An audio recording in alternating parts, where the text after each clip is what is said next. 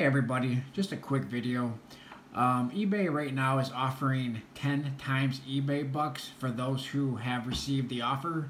Um, it appears it's only good on the app on your cell phone or mobile device.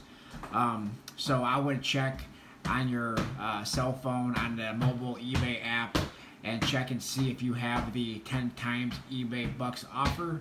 Um, if you're in the market for any gold, I was trying to find the best gold deals. Um, it's really hard to find gold that you can use eBay bucks on.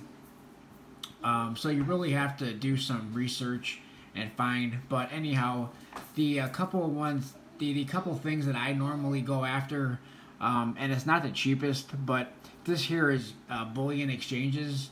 Um, the random year one tenth ounce gold eagle right now um, one to nine coins is $145 um, the ebay bucks that you would receive on that is $14.56 so it would after the ebay bucks it would be about $85 over spot.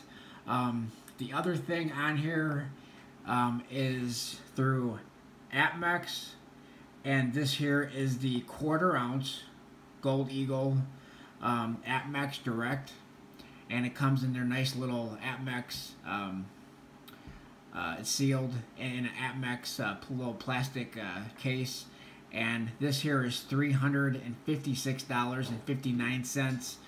Um, eBay bucks you would receive is fifty-two dollars.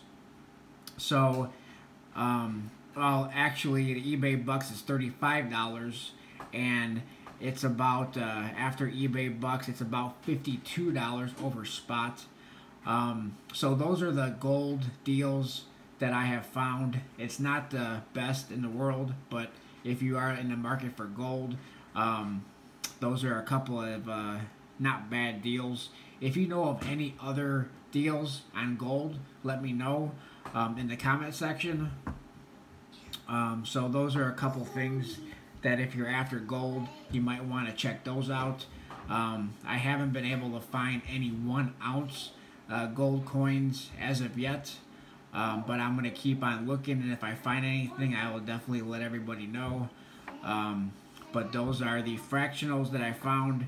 Um, and thanks a lot everybody for watching. Please like, comment, subscribe, and I'll talk to everybody on my next video. Thanks a lot everyone.